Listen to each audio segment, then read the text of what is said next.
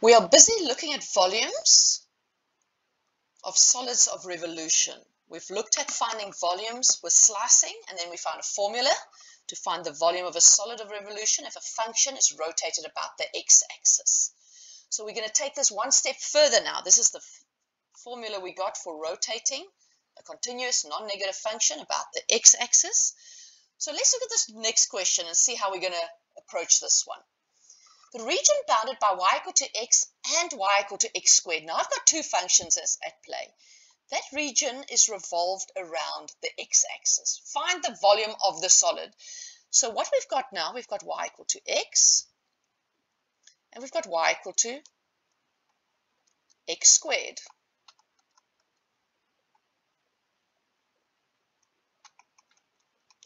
Now we know they intersect at 0 and 1, and thankfully that's the area we're looking for.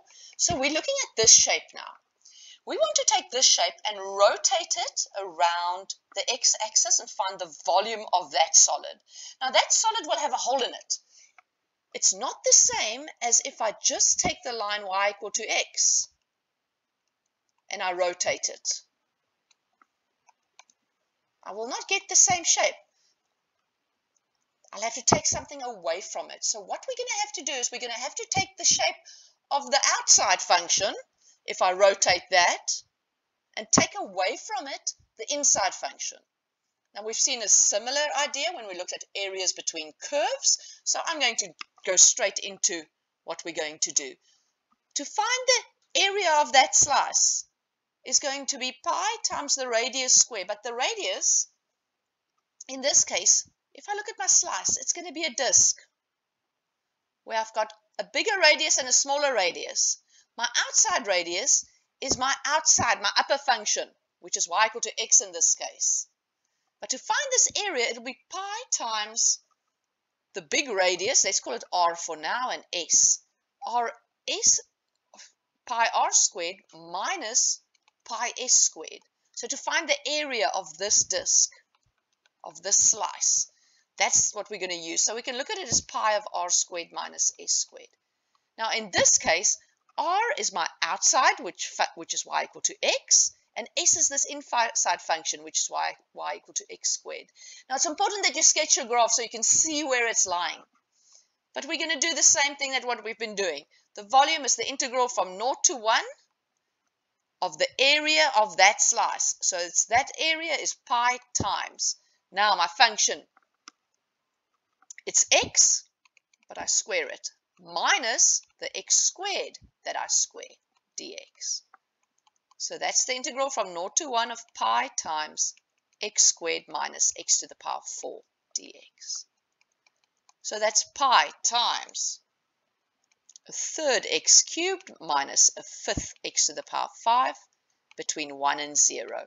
And that is nice to substitute. We like when there's a 0 there. When I substitute 1 in, I've got a third minus a fifth, and that all minus 0, so that gives me 2 pi over 15.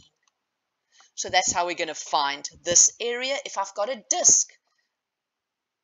If I've got a washer, I mean, rather than a disk. So there's a hole in my disk there. So just to formalize what we did here, I'll get back to that example to formalize it, that's what the formula is going to look like. So very similar to what we looked at when we had areas between two curves, we're looking at using this formula. So similarly, if we want to do it around the y-axis, the formula doesn't change, everything is just with, is with respect to y. So we're going to focus on the x-axis and do examples linked to the x-axis. So let's look at this next one. Draw the region bounded by the curves y equal to x plus 1 y equal to 2x, x equal to 0, and x equal to 1. All right, there's a lot of information there, so we've got to figure out what we're busy doing here. We need to sketch this to see where we are working. So when I sketch it, y equal to 2x goes over there. y equal to x plus 1 cuts the y-axis at 1, the x-axis at minus 1. So it'll go this way. All right, so there we've got 1, minus 1, 0.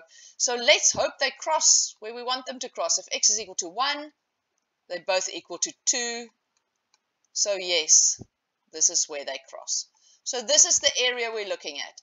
Now take note, if we chose an x value, for example, 2, 3, or 4, something further on, it would have been two separate calculations if we had another part that we're rotating. So just to get the concept across, we're not going to complicate things. So that's the shape that I'm rotating about the x-axis.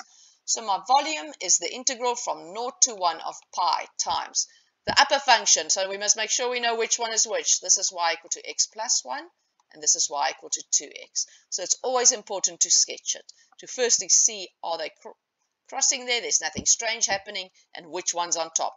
So this is going to be for my washer, that's going to be the bigger radius. So it's x plus 1 squared minus the inside one, which is 2x, 2x squared dx. So now it takes a little bit of algebraic manipulation, multiplying out, adding like terms. So I've got x squared minus 4x squared, so it's minus 3x squared, plus 1. The middle term here is 2x plus 1. There we go. Now I can integrate. I can take pi out, and I've got minus x cubed plus x squared plus x, everything between 1 and 0. And that gives me pi times minus 1 plus 1 plus 1 is just 1. So that gives me pi units cubed, whatever the units is that I'm working with. So that's how we're going to find volumes of solids of revolution, whether my cross-section is a solid disk or whether it's a washer, we've looked at how to deal with both of them. The next video, the next application we're going to look at is finding arc lengths of curves.